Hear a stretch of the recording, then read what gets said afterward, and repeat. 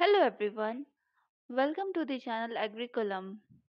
So today we will start the third lecture of Principles of Organic Farming and आज के topics हैं initiatives taken by government NGOs and other organizations for promotion of organic agriculture. तो सबसे पहला topic हम देखेंगे initiative taken by government NGO and organizations for promotion of organic agriculture.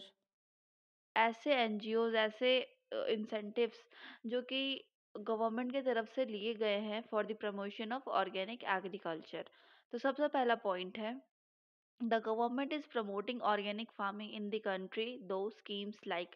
जो government है वो प्रमोट कर रही है ऑर्गेनिक फ़ार्मिंग को कंट्री में बहुत सारे वेरियस स्कीम्स के थ्रू लाइक like, सबसे पहला है national project on organic farming N P O F national horticulture mission N H M horticulture mission for north east and Himalayan states and Rashtriya Krishi Vikas Yojana and also network project on organic farming of Indian council of agriculture research I C A R and अब देखें तो ये सारे जो schemes हैं, इन्होंने funds collect किए हैं अपने अपने seven lakh then 1215.50 lakh then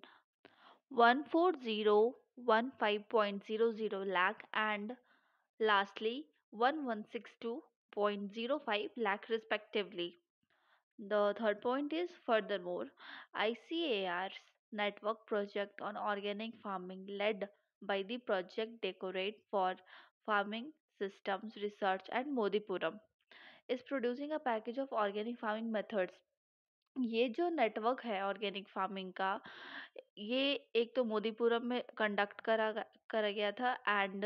ये ये वेरियस मेथड्स को प्रोवाइड करते हैं, जैसे कि crops and cropping system throughout the country many agro ecological areas currently the project is being carried out at thirteen cooperating centres ये जो प्रोजेक्ट है ये करंटली तेरह कोऑपरेटिंग सेंटर्स में चलाए जा रहे हैं including state agricultural universities throughout twelve states The last point is ICRA Institute, including state agriculture universities, provide training and organize frontline demonstration FLD to educate farmers on elements of organic fertilizers. ये जो ICR के institutes है, जिसमें हम include करते हैं state agriculture universities को भी, ये प्रोवाइड करती है training and to educate farmers ऐसे मतलब ट्रेनिंग्स देते हैं फार्मर्स को, जिससे कि हम फार्मर्स को एजुकेट कर सकें ऑर्गेनिक फ़ार्मिंग के बारे में, वो कैसे होता है, कैसे करा जाता है एंड ऑर्गेनिक फर्टिलाइजर्स के बारे में सो so, अब हम देखेंगे the next topic is schemes to promote organic farming in India ऐसे स्कीम्स जो कि हम इंडिया में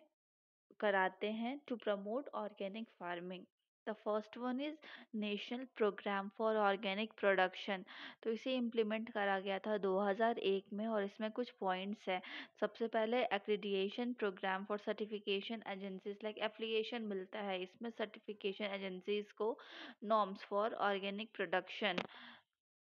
ऐसे नॉर्म्स बनाते हैं जिससे कि ऑर्गेनिक प्रोडक्शन हमारा अच्छा हो एंड उसके बारे में जानना। The third one is promotion of organic farming and promote करते हैं ऑर्गेनिक फ़ार्मिंग को हम इस स्कीम के through. So the following states have been promoting organic farming through this scheme इस स्कीम की वजह से बहुत सारे जो स्टेट्स हैं, वो प्रमोट कर रहे हैं ऑर्गेनिक फ़ार्मिंग को। जैसे कि Kerala, Uttaranchal, Madhya Pradesh, Maharashtra, Karnataka, Gujarat, Rajasthan, Tamil Nadu, Sikkim, Nagaland, Mizoram have been promoting organic farming this programme provides information on organic production standards, इसके criteria, procedures for accreditation और inspection and certification bodies ये सारी चीज़ों पे ये जो scheme है ये ध्यान देता है and standards and procedures have been involved in line with global standards like codex standards and programming के थ्रू जो भी मेडिसिन वगैरह हम डेवलप करते हैं कोडेक्स से लिस्ट में आती है एंड कोडेक्स एक टाइप का मेडिसिन के लिस्ट होते हैं।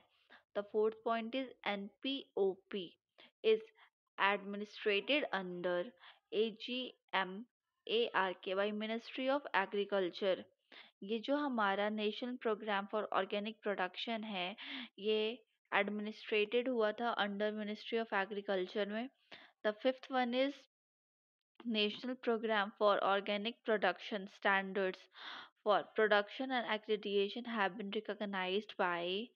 European Commission and Switzerland as well as USDA. अब हम देखेंगे the second scheme is mission organic value chain development north eastern region इस ये लॉन्च हुआ था by ministry of agri and farmer welfare in 2015 for implementation ये जो scheme है, ये एम करती है to develop organic production in value chain mode एक चेन बनाती है ग्रोअर्स से लेके कंज्यूमर्स तक, जो ग्रो करते हैं फार्मर्स लाइक एंड उनके बीच में जितने भी लोग आते हैं, जैसे रिटेलर्स आ गए होलसेलर्स आ गए देन कंज्यूमर्स होते हैं. तो लाइक ये जो इनका एक चेन बनाती है, इनको सपोर्ट करती है एंड डेवलप करती है पूरे इंटायर चेन को। अब हम देखेंगे third, Paramparagat Krishi Vikas Yojana. This is a cluster based programme for promotion of organic farming ये एक क्लस्टर बेस्ड प्रोग्राम है। जिससे कि हम प्रमोट करते हैं ऑर्गेनिक फ़ार्मिंग को तो सबसे पहला पॉइंट है कि इसमें पचास या पचास से ज़्यादा फार्मर्स के हम क्लस्टर बनाते हैं, पचास एकड़ के साथ उन्हें लैंड देते हैं जिसमें वो ऑर्गेनिक फ़ार्मिंग करते हैं the second point is in three years around thousand ten thousand clusters will form covering five lakh acre area. Ten thousand जो क्लस्टर है, वो कवर करते हैं पूरे पाँच लाख एकड़ एरिया को under organic farming and third point is as as पर द स्कीम जैसे कि स्कीम बता रहा है कि हर एक फार्मर को ट्वेंटी थाउज़ेंड पर एकड़ हम देते हैं इन तीन सालों में for seed to harvesting of crops and transport of produce to the market harvest करने के लिए crops को and transportation उसका करना market तक the fourth is organic farming will also be promoted via traditional resources organic farming promote हो रहा है traditional resources के तरफ से भी the fifth is linkages will be formed between organic product and the market as per the scheme Linkage भी इसमें बनते हैं ऑर्गेनिक प्रोडक्ट्स एंड मार्केट के बीच में इस स्कीम के अंदर। This this the scheme will also increase domestic production ये जो स्कीम है, ये डोमेस्टिक प्रोडक्शन को भी बढ़ाते हैं and certification of organic produce through the medium of farmers The seventh is amount of INR 300 crore has been sanctioned for this scheme. 300 crore sanctioned हुए थे इस स्कीम के लिए 2015 से लेकर 16 के बीच में।